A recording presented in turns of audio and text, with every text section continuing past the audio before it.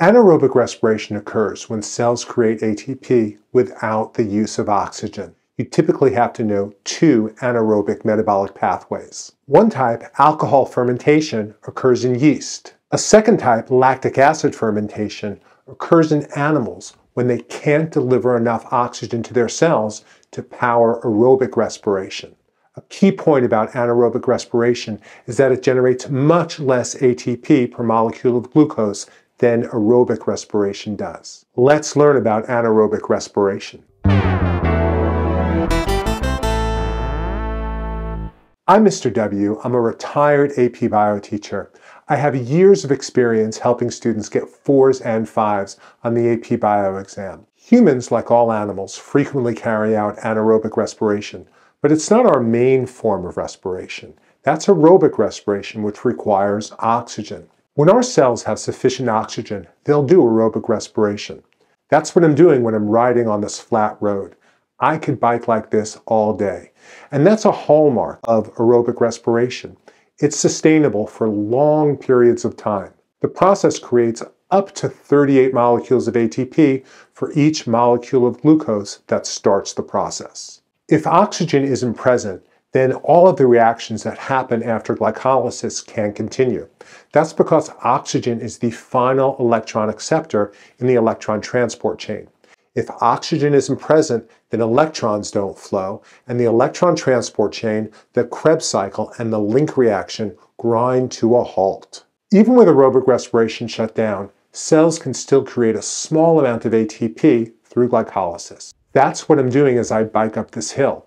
Even with my heart rate and breathing rate at its maximum, I can't deliver enough oxygen to the muscles of my legs to do this aerobically. But I can still make it up the hill. How? Through anaerobic respiration. My muscle cells are carrying out glycolysis followed by lactic acid fermentation. Here's how that works. Note that NAD plus is an input for glycolysis. It's required for glycolysis to happen.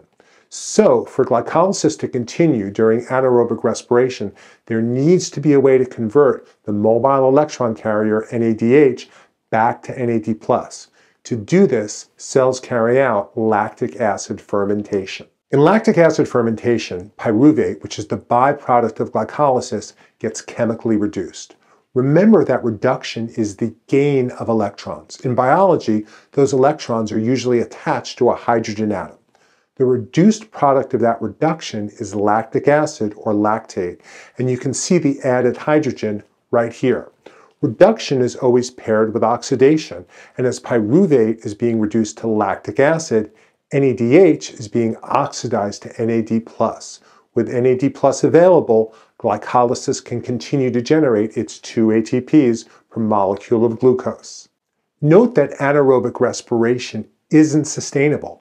The ATP produced simply isn't enough to sustain the organism, and that's why you can only sprint, do push-ups, or lift weights for a short period of time. These are all anaerobic activities. Lactic acid fermentation is also what certain bacteria do to milk during the process of yogurt formation. These bacteria, which have names like acidophilus, take lactose, the disaccharide sugar in milk, and break it apart into monosaccharides one of which is glucose and the other of which can be converted into glucose. Glycolysis follows, and then just like in animals, the pyruvate is converted into lactic acid. The lactic acid is what makes yogurt sour. That's why the pH in milk is about 6.6, while the pH of yogurt is about 4.4. We've made tremendous progress. If you have any questions or want to share some love, please leave a comment. Also, please like this video and subscribe to Science Music Videos. This video has a related tutorial on learn-biology.com and if you complete my course, I guarantee you a 4 or a 5 on the AP Bio exam. You can also gain additional support through the quizzes, flashcards, interactive diagrams, and interactive FRQs on the Biomania AP Bio app. The links are below. The second type of fermentation to know about is alcohol fermentation. It's performed by yeast and we can observe this with a simple controlled experiment. I have three test tubes. The first has yeast, the second has sugar, the third has yeast and sugar. I add water to all three and watch what happens. What you've observed in the third test tube is alcohol fermentation. Here's what's happening.